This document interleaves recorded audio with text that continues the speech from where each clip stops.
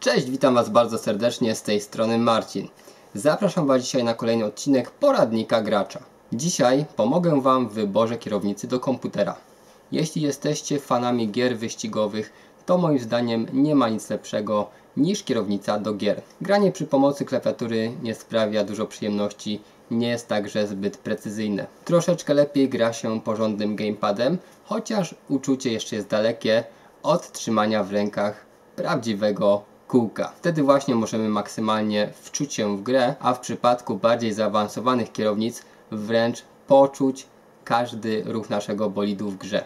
Jeśli chodzi o ceny takich kierownic, to kierownicę możemy kupić już za jakieś 60-70 zł, z tym, że są to produkty, które polecam tylko graczom, którzy w wyścigówki grają raczej sporadycznie, ponieważ te sprzęty pozostawiają wiele do życzenia pod względem jakości wykonania i funkcjonalności. Całkiem dobre kierownice znajdziemy już w przedziale cenowym od 150 do 250 zł, a powyżej tej kwoty mamy już naprawdę zaawansowane modele, będące w stanie zadowolić nawet najbardziej wymagających graczy. Tak więc teraz przedstawię Wam kilka kierownic z różnych półek cenowych. Każda z nich będzie dokładnie opisana.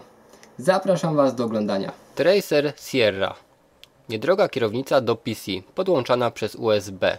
Koszt zakupu około 70 zł. Jest to model bardzo podstawowy i moim zdaniem pod względem funkcjonalności i jakości wykonania zadowoli jedynie najmniej wybrednych użytkowników.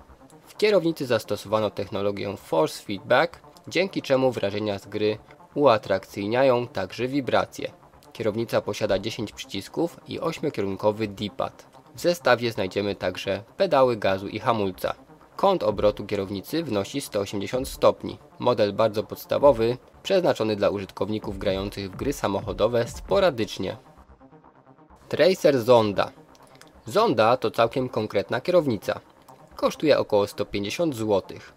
Zdecydowanie lepiej wykonana i funkcjonalniejsza niż budżetowy model Tracer Sierra. Zonda posiada silniczki wibracyjne, przełącznik trybu analogowego i cyfrowego, czterokierunkowy D-pad i 12 przycisków. Jest kompatybilna nie tylko z PC, podłączymy ją także do PlayStation 2 oraz 3. Dodatkowe atuty to pedały gazu i hamulca dobrej jakości oraz zespolona skrzynia biegów. Biegi możemy zmieniać także łopatkami przy kierownicy. Kierownicę możemy obracać aż o 270 stopni. Możemy ją także przykręcić do stołu. Speedlink Drift OZ Racing Wheel Kierownica Speedlinka to przykład niemieckiej solidności w rozsądnej cenie. Koszt zakupu wynosi około 160 zł. Co prawda nie wyróżnia się niczym szczególnym, lecz jest nieźle wykonana. Podobnie jak pozostałe modele posiada silniczki wibracyjne. Jednak w tym modelu możemy wyregulować czułość i siłę wibracji. Posiada przełączniki trybu analogowego i cyfrowego, kompatybilna jest z komputerem PC. Na wyposażeniu są 4 przyciski kierunkowe i 12 przycisków do gier. Przełącznik X-Input Direct Input zapewni kompatybilność z większością gier na PC. Skręt kierownicy wynosi 180 stopni. W komplecie pedał gazu i hamulca z podkładką antypoślizgową. Hama Thunder V18 Firma Hama również ma w ofercie kilka przyzwoitych kierownic. Tą kupimy za około 180 zł. Model Thunder V18 posiada 12 przycisków akcji, jednak nie ma w nim przycisków kierunkowych. Mamy za to silniczki wibracyjne, możliwość skrętu kierownicy o 180 stopni, a także analogowy pedał gazu i hamulca z antypoślizgową podstawką. Kierownica posiada przełącznik trybu analogowego i cyfrowego. Kompatybilna jest z PC. Trustmaster Ferrari Red Legend Solidna kierownica wyprodukowana na licencji Ferrari. Za ten model zapłacimy około 250 zł. Kompatybilna jest z komputerem PC i PlayStation 3. W zestawie mamy zaawansowane pedały gazu i hamulca. Przy okazji są duże i wygodne. Pedał hamulca jest regulowany i wytwarza opór w czasie hamowania. Sprzęt tej klasy zadowoli już większość amatorów wyścigów na PC. Kierownica jest solidnie wykonana i reaguje precyzyjnie na nasze ruchy. Trustmaster Ferrari 458 Italia. Koszt zakupu tej kierownicy to ponad 350 zł. Kolejna świetna kierownica na licencji Ferrari. Stworzono ją głównie z myślą o posiadaczach konsoli Xbox 360 jednak kompatybilna jest także z PC. Kierownica jest oficjalną repliką kierownicy Ferrari 458 z gry Forza Motorsport 4. Posiada dużą gumowaną kierownicę o średnicy aż 28 cm. Kierownicę obrócić możemy o 270 stopni.